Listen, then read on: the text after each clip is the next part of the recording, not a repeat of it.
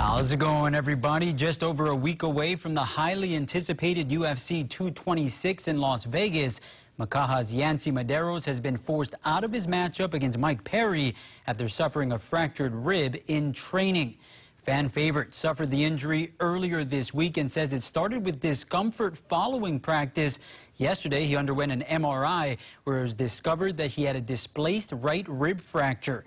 Now, Medeiros, who was looking to bounce back from his first loss in over two years, says having to withdraw from a fight for the first time in his career is a tough pill to swallow. But he'll remain positive and has no doubt that he'll return with the same motivation that drove him through this most recent training camp.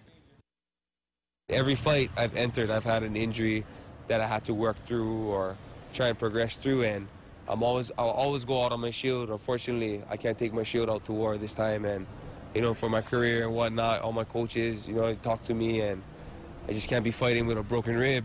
And unfortunately, I, as much as I want to represent, I have to I have to heal up and get better. I'm not going to stay bitter about it. It's unfortunate. I really, really want. I had a lot of expectations in myself. I really took a, a big quote in my life, and it's like when there's adversity, people get emotional. It's time to get focused, and definitely this is something that, you know, I was emotional about, but I need to stay focused. I need to stay on the plan, and I'm still here to represent Hawaii. It's very, very disappointed, very, very upset to to not compete, to even let my opponent down. I mean, it's it's it's. Uh, I'm a professional, and I really want to. I, I, I really want to compete. I really. I'm not trying to pull out of anything. Like I said, I, fought every fight with an injury, and if I could work through it, if I could fight through it, I would.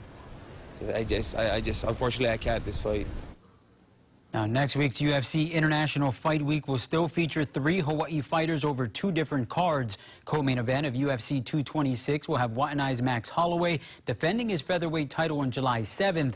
One day prior, Hilo's Brad Tavares and Waianae's Rachael Ostovich will take part in the Ultimate Fighter Finale 27 card. For more, you can swing by our website, KHON2.com.